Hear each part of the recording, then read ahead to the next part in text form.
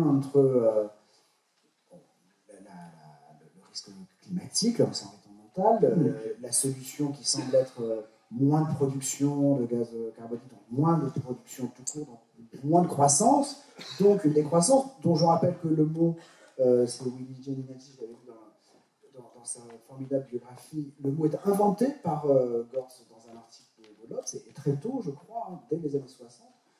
Euh, c'est bien ça, hein, 72. Euh, vous, comment est-ce que vous articulez cette question avec celle du travail? Ah, ça c'est un. À quoi, à quoi ça rime de travailler dans un monde euh, qu'on veut faire décroître, pour le dire très brutalement?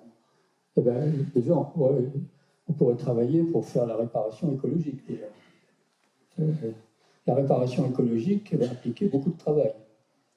À certains moments, quand je vais être un peu provocateur, je dis que pour éviter la catastrophe, il va falloir travailler plus pour gagner moins. Pas exactement. Travailler plus pour polluer moins pour gagner, oui, pour, oui, pour, pour moins, oui, c'est ça. Donc, il y a un premier débat quand même. Il y a un colloque de théorie que Dominique Méda a dirigé, sur lequel, euh, sur la mutation écologique, sur lequel, quand même, euh, l'ambiance est plutôt que c'est trop tard et qu'on va à la catastrophe. Donc, ce moment-là, ça invalide beaucoup de choses qu'on a dit là. Je pense qu'il y a une conflictualité latente entre le social et l'écologique qu'on ne veut pas voir c'est que moins on changera nos comportements et plus on, voudra faire le sauvetage écologique par de, l'investissement, par de la finance, moins il y aura de ressources pour financières pour le social. Et donc, euh, je pense qu'on n'a pas bien vu la, zone de conflit entre écologie et social. Il y a des points de convergence aussi, hein, créer des emplois verts, etc., mais aussi des points de conflit. Alors ensuite, euh, oui, comment réorienter le, travail euh, vers euh, euh, la réparation écologique et en même temps le temps libre, en même temps, et en même temps la satisfaction des besoins sociaux. Est-ce que l'équation est devenue incompatible?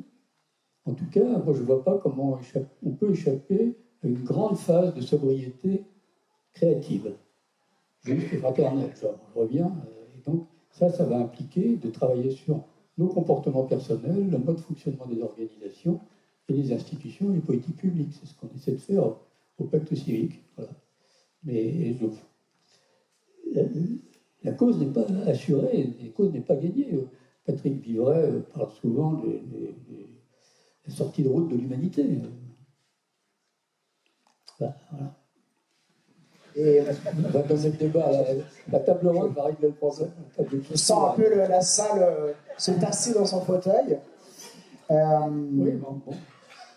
Mais on a des ressources de créativité euh, très dispersées. Tout le problème, c'est de les réunir, de les organiser pour faire bloc et, et, que le mainstream, qui, est quand même plus fort aujourd'hui que, que,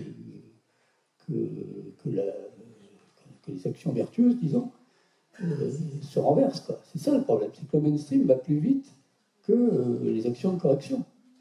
Et celles-ci sont trop dispersées et pas assez unies.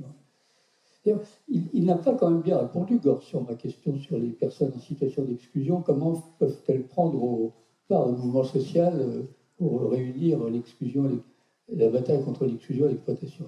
Il ne répond pas. On n'a toujours pas su répondre entre nous. C'est pas normal qu'il réponde pas, on n'a pas su répondre. Mais euh, toutes ces questions-là, bon, je pense qu'il faut les prendre sous une forme un peu nouvelle il y avait chez, ce sera la, dernière question, il y avait chez Gors, euh, moi j'ai souvent été frappé par ça, une sorte d'optimisme quand même, euh, euh, souvent dans ses articles.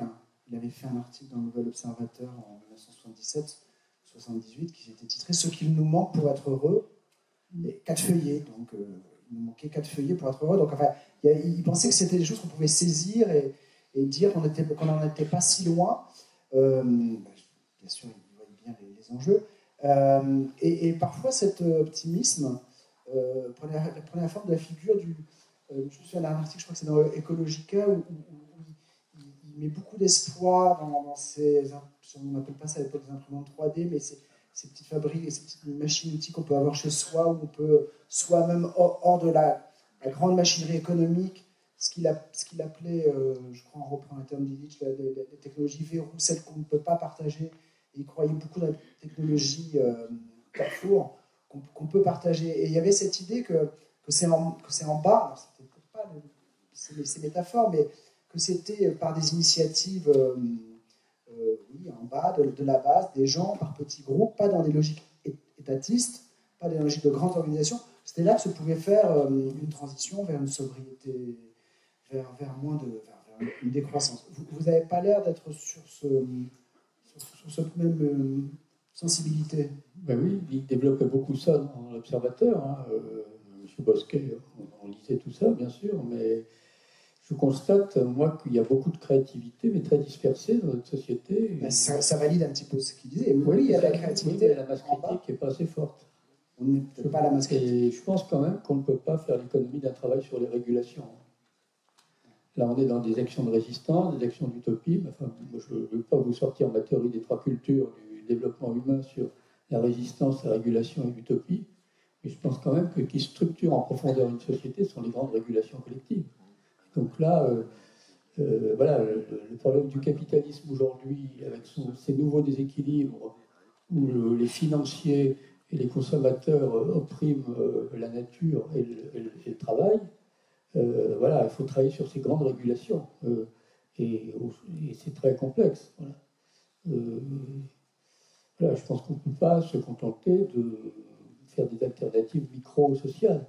Il y a besoin d'un travail de fond sur les régulations, qui n'est pas évident. Peut-être d'organiser des, des, financiers socialement responsables, des consommateurs socialement responsables, pour rééquilibrer le système, puis peut-être agir sur la fiscalité, sur la finance, enfin il y a tout un travail à faire qui est, oui, ah oui, qui est fondamental. En même temps, c'est assez logique. Vous, n'avez pas été commissaire au plan pour rien.